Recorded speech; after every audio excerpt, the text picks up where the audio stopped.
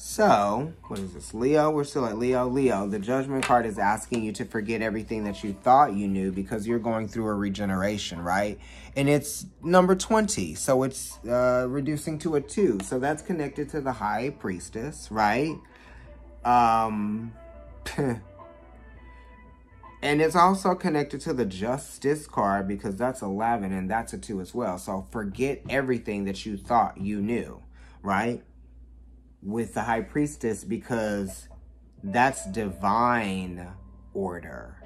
So you can never be ahead of that, right?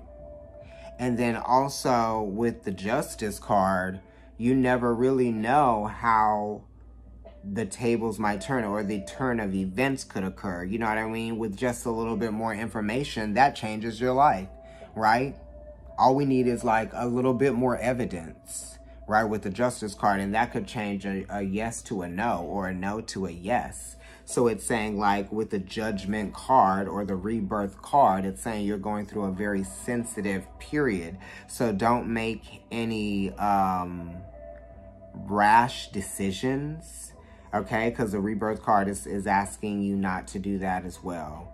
Uh, don't get stuck in your own, don't get in your own way either. That's what this card is talking about. Don't get in your own way because Pluto gets its gets in its own way. It's connected to that energy of um, of Aries, but it's also connected to the energy of Scorpio. So this is like not letting material things get in the way and not letting your emotions get in the way and not coming from a place of lack because if you come from a place of lack then that will control you and then you your reality will be that you know? Um yeah.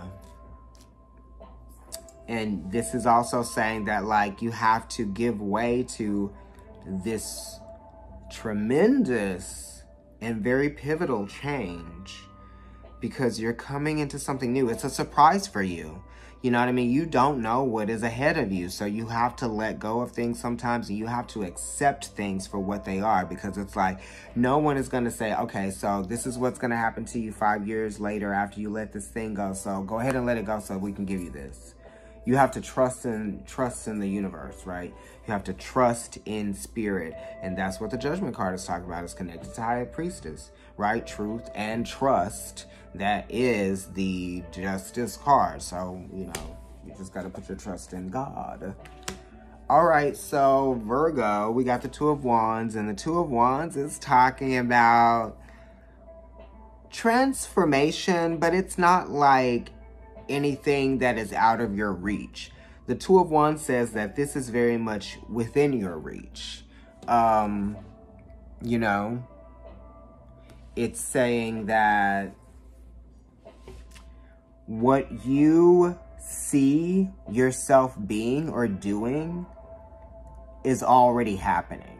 You know, you have to see it as if it's already happening for you. It doesn't matter how long it takes, you know what I mean? Because sometimes voyages and journeys take a long time. It's kind of like, do you want to be in the place that you've always dreamt of being right now? What are you going to do when you get there? isn't it about the journey? Isn't it about the people that you meet getting to where you're going so that when you get to where you're going, you have all of those layers of relationships and you have all of those layers of experiences and going to, you know, places that you've never been. And now you have accumulated knowledge that you didn't know that helped you change your perspective and all of this other stuff. We have to be willing, right? Aries, Two of Wands, Mars in Aries. It literally is in the sign that it rules. We have to be willing to change and we have to be willing to take uncertain risks, right? Sometimes. This is saying don't get too stuck on something that is, you know, especially if it's happening in your early life. I will tell you this you know, when I was a, I'm still a dancer, but when I was a young dancer, it was like everything was dance. Everything was dance, and I didn't see anything else but that. And now that I'm older and I've done more things and I've been more places, I guess, it's like I realized that everything that came after dance was really just enhancing that for me. And dance was going to enhance everything else that I was going to have introduced or come to me later with and with other stuff too so you have to be able to like bring balance to everything in your life and that's what the two of wands asks us to do as well. We have to actively monitor our lives to bring balance to them because sometimes we just get stuck and we get set in our ways and that's what the two of, two of wands talks about too. We get or we get we get set in our ways and sometimes we get stuck in our ways too. I mean it is a two so it's related to the second house of taurus as well. So it's like what do you want to do say it that doesn't mean it's going to happen next week you know, it, it takes some time for things to actually um, happen, right? Think about how much time it takes a tree to grow, you know? Okay, Libra. All right, King of Cups. So this is um interesting because this card is you, one third you, and then it is also, um, hmm, hmm, two thirds Scorpio. But it's interesting because the cup in this in these decks, they almost look like hourglasses, right? When you turn the cup upside down, it still looks the same. You can drink from the bottom or the top. Um, anyway, the King of Cups is air, so we're thinking, we're using logic right? Over emotion. And the King of Cups is Scorpio, okay? And Scorpio sometimes, a lot of the times, is not using logic over emotion. It, it, it relies on emotion more than logic, okay? And that gets them into trouble because emotions are not necessarily real. You know, you can see the surface of the water and not see what's in it at all. And then you jump down in there and you realize that there are alligators in there. Or you could see the water and you can see that you can't see it at all. And then you jump in and then you can see underneath that there's goldfish and, you know, all kinds of beautiful clownfish or whatnot. Right? Dory, Nemo, they're all under there. Beautiful. Anyway, this says use logic over emotion, right? And that could be, is it a positive emotion? Is it a negative emotion? Is it a an emotion that you're not ne necessarily, you're letting get out of control. You know what I mean? It could be something, you could be like swooning over somebody because this could be a relationship. It could be like, oh my God, I feel so much about this person. But it's like, come on, be logical, use some reason. Don't get stuck on the way that you feel about this person, right? Because you don't know how they feel about you. So we're using logic over emotion. And also, sometimes, right, the King of Cups has learned through trial and error and through time, because I said over time, this cup looks like an hourglass, that I have to be reasonable with myself when I am faced with some emotions. Because I know that my instinct is to probably go to places that are imaginative, you know, and in this card, we see earth, we see trees, and we see grass. And then we see stone with the King of Cups sitting on it. And then it goes into the water. So there's a sense of balance here between the real and the illusion. You know, stay balanced between those two, right? And uh, we want to use the imagination for creative purposes more so than creating um, fictitious scenarios or narratives based on what we might be feeling that really just stems from how we are relating to, you know, our past historical references. you know, of ourselves and our relationships and our inner thoughts and our in, you know, inner interpersonal relationships, all of that. This is relationships, and then it's like intimate relationships. The King of Cups is connected to the Four of Cups, which is Moon and Cancer. So you could be getting like, um, you could be dealing with Moon and Cancer. You could be dealing with um, Cancer. Or even a Scorpio.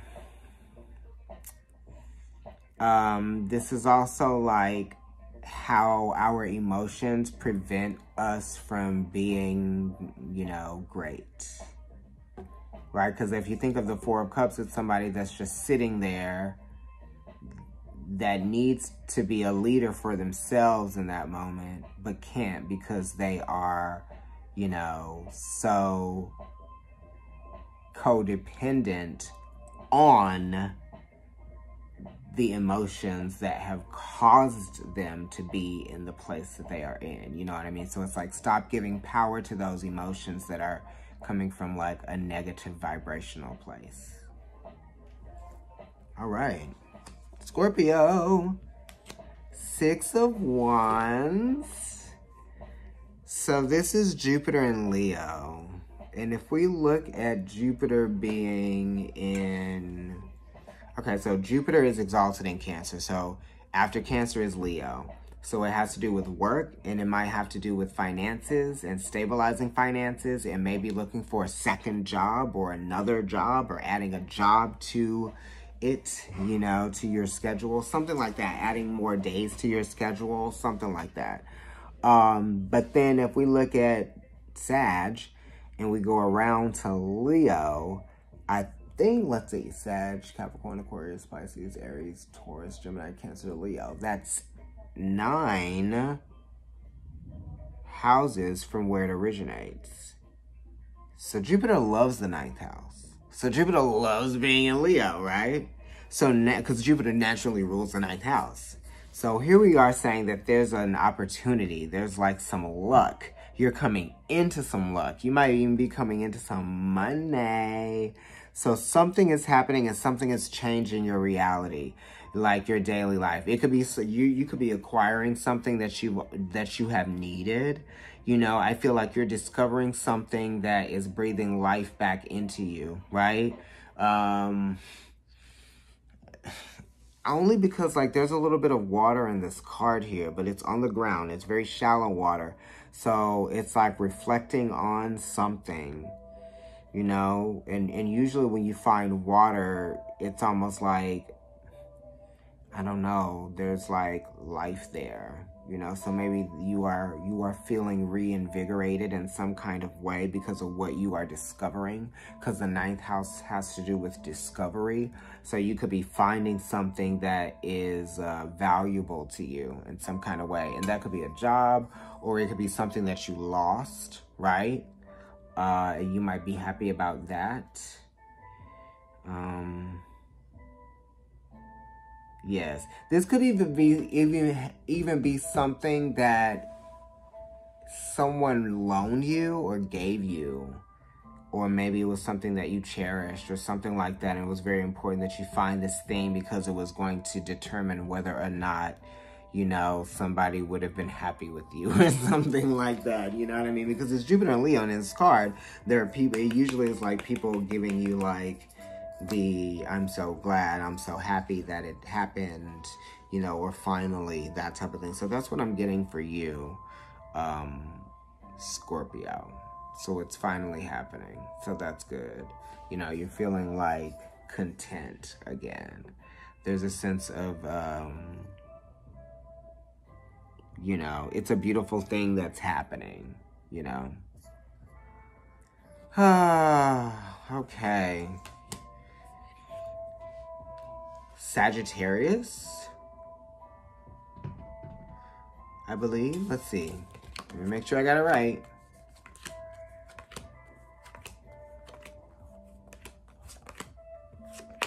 Sagittarius, right. Uh, we're going to move on to the next video.